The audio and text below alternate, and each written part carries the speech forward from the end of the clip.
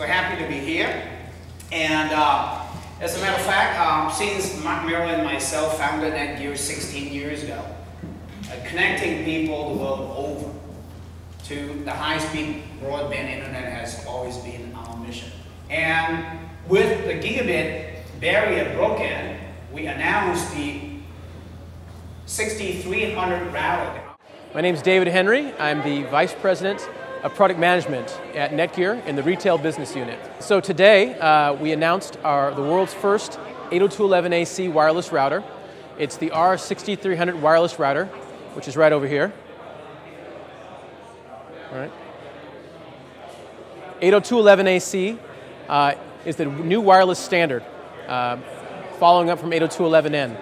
So about six years ago, 11n launched. Six years later today, 11AC is replacing it. It's up to three times faster than all the 11N devices you have in your home. And what's really, really good for is video. Most of the traffic that's going over the internet today is video. Over 50% is video. And the network of today in your home was not designed for video. Particularly, it's not designed for multiple HD streams going to different devices all at the same time.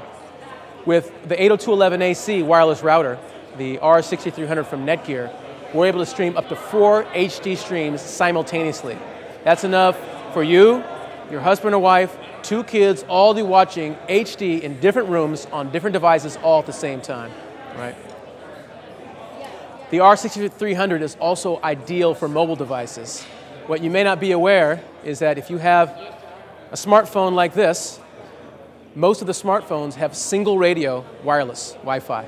That means at most they're getting 75 megabits per second.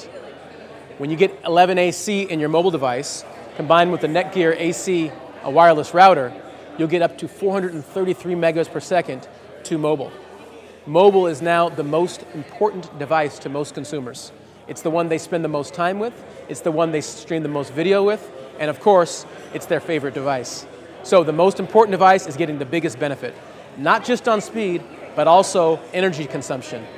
11AC is up to six times more energy efficient than 11N, which means your battery lasts longer.